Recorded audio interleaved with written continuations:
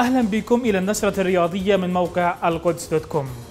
شدد اللواء جبريل رجوب رئيس اتحاد كرة القدم على أهمية إنجاح زيارة رئيس الاتحاد الدولي جوزيف بلاتر لفلسطين مطلع الشهر القادم.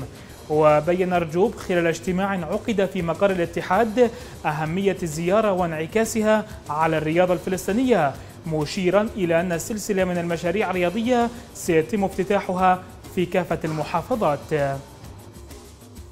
أعلن نادي شباب الخليل عن تعاقده مع نجم المنتخب الوطني أشرف نعمان بعد انتهاء عقده مع ناديه السابق الفيصل الأردني. وبين رئيس النادي معاوية القواسمة أن النادي توصل لاتفاق مع اللاعب يقضي بانتقاله لصفوف العميد ابتداء من الموسم المقبل.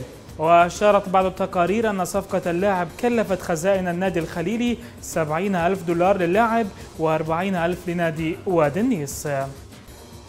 في الملاعب العربية خطى المنتخب المصري خطوة إضافية نحو الدور النهائي من التصفيات الإفريقية المؤهلة لنهائيات مونديال البرازيل بعد فوزه المهم على زيمبابوي بأربعة أهداف مقابل هدفين.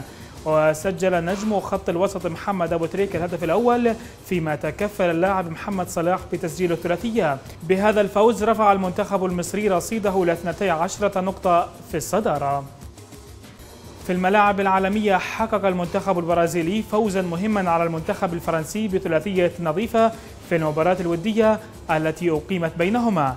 وتمكن المنتخب البرازيلي من تحقيق أول فوز على الديوك الفرنسية منذ سنوات طويلة بعد أن تمكن من تسجيل ثلاثية في الشوط الثاني من اللقاء.